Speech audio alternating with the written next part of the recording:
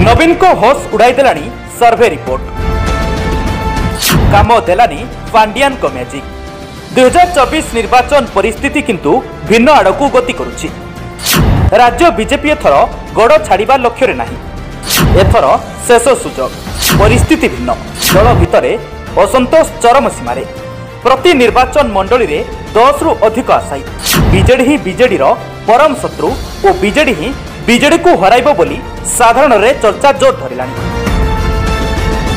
ଦଳର ନାମକୁ ମାତ୍ର ମଙ୍ଗ ଧରିଥିବା କିଛି ନେତା କଥା ଛଳରେ ଟିକେଟ୍ ମଧ୍ୟ ବାଣ୍ଟି ସାରିଲେଣି ବୋଲି ଶୁଣିବାକୁ ମିଳୁଛି। ଯେଉଁ ନେତା ସେମାନଙ୍କ ପାଖକୁ ଯାଉଛନ୍ତି ତମ ଟିକେଟ୍ କନଫର୍ମ ବୋଲି କହୁଛନ୍ତି। ପୁରୁଣା ନେତା ଆସନ ଛାଡ଼ିବା ପାଇଁ ପ୍ରସ୍ତୁତ ନୁହନ୍ତି। ବିଜେଡିରେ ହ୍ରାସ ପାଉଛି ଲୋକପ୍ରିୟତା। କମୁଛି ବିଜେଡିର ସିଟ୍ ସଂଖ୍ୟା।